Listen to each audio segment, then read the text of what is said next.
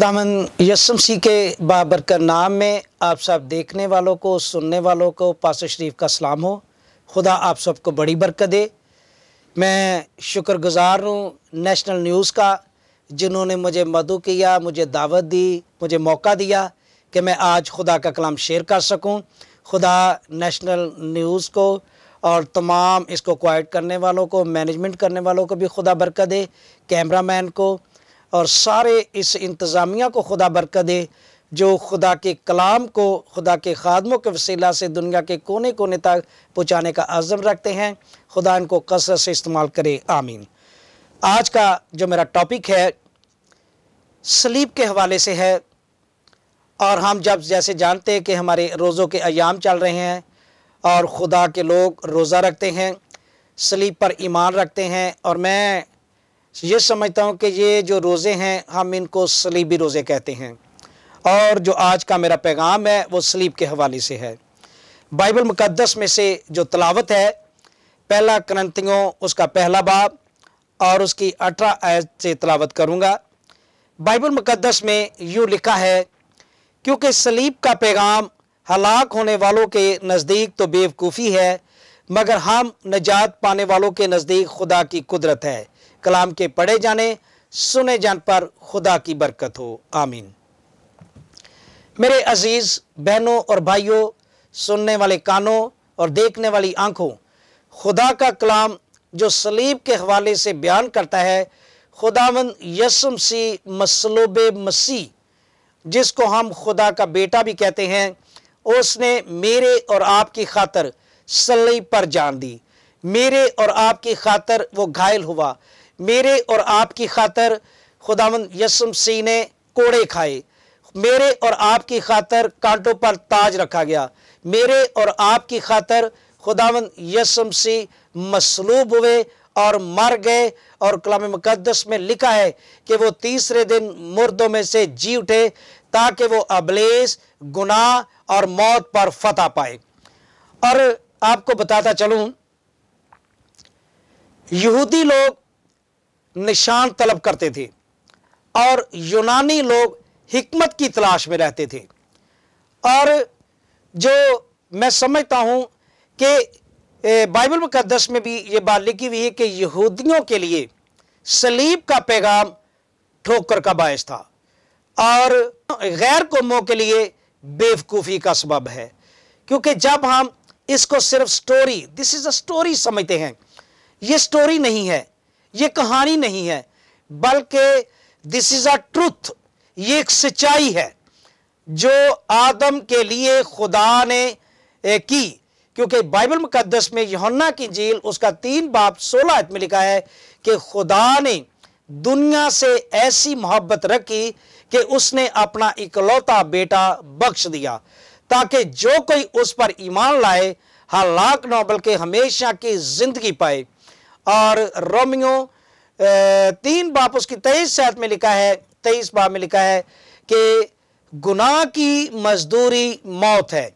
जैसा कि हम बाइबल मुकदस में पढ़ते हैं कि आदम और हवा ने गुनाह किया और कलाम कहता है कि गुनाह की मजदूरी मौत है और गुनाह के वसीला से मौत ने ज़मीन पर इंसानों पर साया कर लिया। और वो ऐसा साया था, वो ऐसा बादल था जिसको कोई भी नहीं उठा सकता था। इसीलिए योहन्ना बपतिस्मा देने वाले ने यसमसी की गवाही दी। उसने कहा, वो देखो खुदा का बरा जो जहान के गुनाह को उठा ले जाता है। और बाइबल मुकदस में लिखा है कि कोई भी ऐसा नाम नहीं बख्शा गया जो यसम सी के अलावा कोई ऐसा नाम हो यानी यसम सी वो नाम है जो सब नामों से आला है।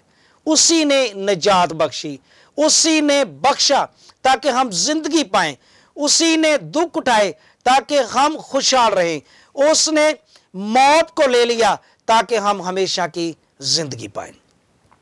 मेरे जीजो, वो अलग बात है कि अगर हम सुनते हैं तो उसको इग्नोर कर देते हैं। बाइबल मुकदस में मकाशवा की किताब में लिखा है कि नबूवत की किताब को पढ़ने वाला, उसको सुनने वाला और उस पर अमल करने वाला मुबारक है। मेरे जीजो, जब हम सुनते हैं, सुनने के वसीला से ईमान पैदा होता है। जब हम कलाम को सुनते हैं और अगर ईमान लाते हैं तो निजात पाते हैं। बाइबल मुकदस में लिखा है कि तू अपने मुँह से यसुम सी को ज़िंदा खुदा का बेटा अपने मुँह से इकरार कर और दिल से ईमान ला तो तू और तेरा घराना निजात पाएगा। शमान जो हैकल में था, वो रास्तबाज था, खुदावन की रूह में चलता था, और रूह की हदायत थी कि जब तू निजात को देख लेगा, जब तक तू निजात को नहीं देख लेगा, मौत का मज़ा नहीं चखेगा। तो इसलिए जब हैकल में मरियम और यूसुफ यसुमसी को जब लाए तो बाइबल में लिखा है कि उसने कहा कि आए खुदावन मैंने तेरी निजात को देख लिया है।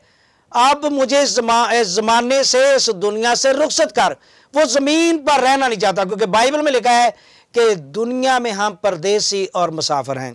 लग बात है कि दुनिया हमें खुदावंद की तरफ़ से तोहफा दी गई है क्योंकि उसने कहा कि ज़मीन पर तुम बड़ो पलो और ज़मीन पर अख्तियार रखो। हम जानवरों पर हम हर चीज़ पर अख्तियार रखते हैं। ये ज़मीन पर रहकर खुदा ने हमें बादशी दी है। ताकि हम गरीब हो, मैं कहता हूँ कि खुदा का खादम होते हुए हम गरीब हैं या अमीर हैं। लेकिन मैं अक्सर कहता हूँ कि कभी भी ये ना कहें कि हम गरीब हैं, बल्कि कहें कि हम रिच मैन हैं। हम अमीर हैं, क्योंकि हम ईमान में अमीर हैं। दूसरा तमोतियस उसका चार बाप और उसकी सात आयत में लिखा है, पलूस रसूल ने बड़ी खूबसूरत एक आयत कही, जो मरकजी आयत है कि मैं अच्छी कुश्ती लड़ चुका, दौड़ को ख़त्म कर लिया और ईमान को महफूज रखा। मेरे जीज़ो आखिरी आयत जो मैं आपके सामने शेयर करना चाहता हूँ, बाइबल मुकदस में से मत्ती की झील उसका सोलह बाब और उसकी तेईस आयत में लिखा है, उस वक़्त यस्सु ने अपने शगिर्दों से कहा कि अगर कोई मेरे पीछे आना चाहे तो अपनी खुदी का इनकार करे और अपनी सलीब उठाए। आज का मेरा जो पैगाम है, सलीब के हवाले से है। और जो लिखा है कि अपनी सलीब उठाए और मेरे पीछे हो ले। अगर कोई चाहे, ये हमारी अपनी मर्ज़ी है, क्योंकि खुदा ने इंसान के अंदर उसकी अपनी मर्ज़ी रखी है। जिस तरह कला में लिखा है कि जिस्मानी भी हैं और रूहानी भी हैं, जो और जिसम और रूह की अक्सर फाइट रहती है, क्योंकि जो रूहानी है वो रूहानी काम करता है, जो जिस्मानी है, वो जिस्मानी ख्वाहिशों की ख्वाहिश रखता है। और बाइबल मुकदस में लिखा है, क्योंकि जो कोई अपनी जान बचाना चाहे, उसे खोएगा, और जो कोई मेरी खातर अपनी जान खोएगा, उसे पाएगा। और अगर आदमी सारी दुनिया हासिल करे, और अपनी जान का नुकसान उठाए तो उसे क्या फ़ायदा होगा? ये आदमी अपनी जान के बदले क्या देगा? क्योंकि इब्ने आदम अपने बाप के जलाल में अपने फरिश्तों के साथ आएगा। उस वक्त हर वक्त हर एक को उसके कामों के मुताबिक बदला देगा। मेरे चीज़ों हम गरीब हैं या अमीर हैं, हमें सलीब को उठाना है, क्योंकि लिखा है कि अगर कोई चाहे, मेरे पीछे आना चाहे तो पहले क्या करे? अपनी खुदी अपनी खुदी से इनकार करे। और उसके बाद लिखा है कि अपनी स्लीब उठाए और मेरे पीछे हो ले सलीब का मतलब है दुख उठाना। जिस तरह के बाइबल मुकदस में एक बड़ी खूबसूरत और औतायर है, एक और आयत है, लिखा है कि अगर कोई तेरे बाएँ तमाचा मारे तो अपना दहना भी उसके हाथ में कर दे। और तू अपने दुश्मनों के लिए दुआ करे, अपने स्ताने वालों के लिए दुआ कर, ताकि खुदा तेरा जो बदला देगा, खुदा कहता है कि बदला लेना मेरा काम। लेकिन हम क्या करते हैं? हम खुद बदला लेते हैं। हम खुद सिपा सलार बन जाते हैं। हम अपने आप की खुद ही से इनकार नहीं करते। लेकिन खुदा का कलाम कहता है कि जो मेरे पीछे आना चाहे, अपनी खुदी से इनकार करे और अपनी सलीब उठाए और मेरे पीछे हो ले। मेरे जीजो सलीब का पैगाम हलाक होने वालों के नज़दीक तो बेवकूफ़ी है। लेकिन निजात पाने वालों के सामने खुदा की कुदरत है। अगर आप खुदा की कुदरत को जानना चाहते हैं, क्योंकि बाइबल में लिखा है मुकदसा मगदलिनी और मरियम का भाई लाजर जब मर गया और उसको चार दिन कब्र में रखे हुए थे तो उसने कहा कि तू जानती नहीं कि अगर तू ईमान लाएगी तो खुदा की कुदरत को देखेगी। और यस्सु कब्र पर गया और उसने लाजर को आवाज़ दी। उसने एक ही मुर्दे को, जिसका नाम लाजर था, उसको आवाज़ दी और वो चार दिन का मुर्दा लाजर कब्र से ज़िंदा बाहर निकल आया। और बाइबल मुकदस में लिखा है कि जो बेटे की आवाज़ सुनेगा, वो जी उठेगा। और बाइबल मुकदस में ये भी लिखा है कि हम आसमान पर उड़ जाएँगे। इसीलिए किसी शायर ने खूब कहा है, हवा चे उड़ जाना यसु ने जदुहाना पीछे न रह जावी तू बंदिया रूदाए फरमाना, हवा च उड़ जाना यसू ने जदुहाना मेरे जीजो, ये बात सच है कि जब यसु सी आसमान से बादलों से ललकारेगा तो लिखा है कि पहले वो जो मसीह में मुवेंगे, जो अपनी स्लीब उठाए, उसके पीछे चलेंगे, वही ज़िंदा होकर, हवा में उड़कर खुदा का इस्तेमाल करेंगे। यही सच्चाई है। सो आज हम एक अहद करें, खुदा के हजूर। हम खुदा से कहें कि हम अपनी अपनी स्लीब खुद ही को छोड़कर, अपने आप में बदलों को छोड़कर, दुश्मनियों को छोड़कर, सलीब को उठाएँगे, क्योंकि सलीब का पैगाम मोहब्बत का पैगाम है।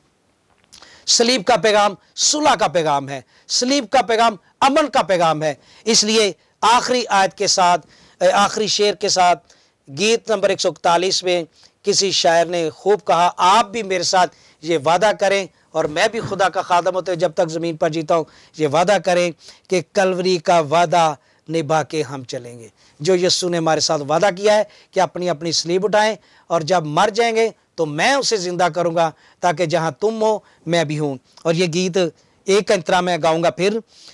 आप सब भी मेरे साथ जहाँ जहाँ सुन रहे हैं, बैठे हुए हैं, गा सकते हैं। कलवरी का वादा निभा के हम चलेंगे, कलवरी का वादा निभा के हम चलेंगे। अपनी अपनी सूली उठा के हम चलेंगे, अपनी अपनी सूली उठा के हम चलेंगे। जाना है जाना है। आमीन। आइए, एक दफ़ा मैं चाहूँगा कि आप सब के लिए दुआ करें, ताकि हम अपनी खुदी से इनकार करें। अगर कोई गुनागार है तो वह अपने गुनाह से तोबा करे और अपनी अपनी खुदी से इनकार करके यस्सु की सलीब उठाएँ और यस्सु के पीछे हो लें, ताकि हम हमेशा की ज़िंदगी के वारस ठहरें। खुदा आपको बरकत दे। आमीन। आइए अपने सरों को झुकाएँ और दुआ मांगें। खुदामंद कदोस रबुल्फाज इसराइल के खुदामंद, तेरा शुक्र और तेरी तरीफ़ हो, तूने अपने बेटे यस्सु को हमारे लिए दे दिया, ताकि खुदा पाक, खुदा वसलीब पर जान देकर हमेशा की ज़िंदगी से हमें नवाजा करे। खुदा पाक, खुदा तेरे कलाम में लिखा है, जो कोई तेरे बेटे पर ईमान लाता है तो उसे हमेशा की ज़िंदगी बख्शता है। खुदा पाक, खुदा तेरे बेटे यस्सु ने हमें, हमारे साथ ये वादा किया है कि मैं आकर तुम्हें अपने साथ ले लूँगा। खुदा पाक, खुदा सुनने वाले कानों को, देखने वाली आँखों को खुदावन तू बड़ी बरकत देना। नेशनल न्यूज़ चैनल को, जो दुनिया दुनिया में यूट्यूब के ज़रिए जैसे भी खुदावन तेरे पैगाम को सेंड करता है, भेजता है जितने लोग तेरे सुनते हैं, सब पर तेरी नाम बना बरकत हो। पाकिस्तान में जितने तेरे खादम खिदमत कर रहे हैं, उन पर भी तेरी बरकत हो। पाकिस्तान की सलामती के लिए बरकत चाहते हैं, पाकिस्तान की सिक्योरिटी के लिए तेरी बरकत चाहते हैं, पाकिस्तान के मैनेजमेंट इंतज़ामिया के लिए एफ़ आई यू के लिए आर्मी के लिए, फौजियों के लिए, सिपाहियों के लिए आई जी के लिए और डीसी लाहौर के लिए और तमाम पाकिस्तान के तमाम हुक्मरानों के लिए तेरी बरकत और तेरी सलामती चाहता हूँ। खुदा पा खुदा, इस चैनल को भी बड़ी बरकत देना, जो इस चैनल को चलाते हैं कैमरा मैन के लिए और जितने यहाँ पर भाई इस जगह पर तेरी खिदमत के लिए तेरे लोगों का इंतज़ार करते हैं, उन पर भी तेरी बरकत चाहता हूँ, जिसका हाथ है इस चैनल को चलाने चलाने में, नेशनल, इंटरनेशनल लेवल पर जहाँ जहाँ भी तेरे लोग बैठे हैं, सब पर भी तेरी नाम बना बरकत हो, ताकि जब तू आए तो अपने लोगों को अपने साथ ले। खुदा पाक, खुदा, हमारे अंदर से ईमान बख्श, हमें ईमान की मजबूती दे, ताकि हम खुद ही से इनकार करें और यस्सु की सलीब उठाएँ तो उसके पीछे चलें और हमेशा की ज़िंदगी के वारस ठहरें। माँगता तेरे क्लोते बेटे, अपने खुदावन यसु मसीह के नाम से, आमीन। जिसने हमें सिखाया ए हमारे बाप, तू जो आसमान पर है, तेरा नाम पाक माना जाए। तेरी बादशाही आए, तेरी मर्ज़ी, जैसे आसमान पर पूरी थी, ज़मीन पर भी हो। हमारे रोज़ की रोटी आज में दे। जिस तरह अपने कर्जदारों को माफ़ करते तू हमारे कर्ज माफ़ कर। हमें इजमाइश में न पड़ने दे, बल्कि बुराई से बचा, क्योंकि बादशाह और कुदरत जलाल हमेशा तक दे रही है। आमीन। खुदा में जसमसी का फजल, खुदा बाप की मोहब्बत रुलकदस की रफाकत और शराकत आपसे लेकर हमेश तक हमारे साथ, आलमगीर कलीसिया के साथ हादरीन जमात के साथ, टीवी नेशनल न्यूज़ चैनल के साथ, पाकिस्तान में और भी जितने चैनल चल रहे हैं, सब पर नाम बनाम तेरी बरकत हो। यसम सी के नाम से आमीन।